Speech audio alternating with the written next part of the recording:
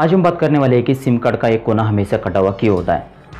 देखिए, आपको पता है कि सिम कार्ड कौन से भी साइज़ का हो, चाहे वो नॉर्मल सिम कार्ड हो मिनी सिम कार्ड हो या माइक्रो सिम कार्ड हो तो सिम कार्ड का एक कोना हमेशा कटा हुआ होता है। इसके साथ सिम कार्ड फ़ोन के अंदर जहाँ पर लगता है, यानी कि जो सिम कार्ड का होल्डर होता है, जो स्लॉट होता है, उसका भी एक कोना हमेशा कटा हुआ दिया जाता है। तो इस तरीके का डिज़ाइन क्यों दिया जाता है? देखिए सिम कार्ड को फ़ोन के अंदर कार्ड होल्डर के अंदर प्रॉपर तरीके से लगा सके, इसलिए वहाँ पर एक कोना कटा हुआ दिया जाता है।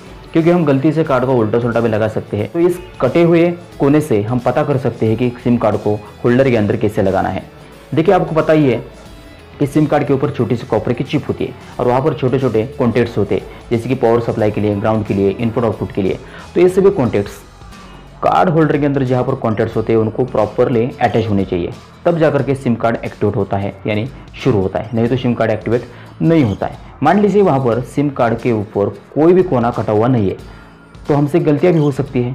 हमें कैसे पता चलेगा कि सिम कार्ड को कैसे लगाना है? हम गलती से सिम कार्ड को घुमाकर उल्टा भी लगा सकते हैं, जिसकी वजह से ये जो कॉन्टैक्ट्स होते हैं, यानी कि सिम कार्ड के जो कॉन्टैक्ट्स है और होल्डर के जो कॉन्टैक्ट्स है, उनकी अलाइनमेंट प्रॉपर तरीके से नहीं होगी, उनकी मिसमैचिंग होंगी और सिम कार्ड एक्टिवेट नहीं होगा।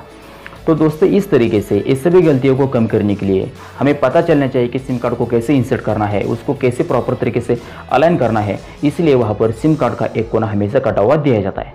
आपने देखा होगा कि सिम कार्ड का एक कोना कटा हुआ होने के बावजूद भी हम कभी कभी गलती से सिम कार्ड को घुमाकर उल्टा भी लगाते हैं।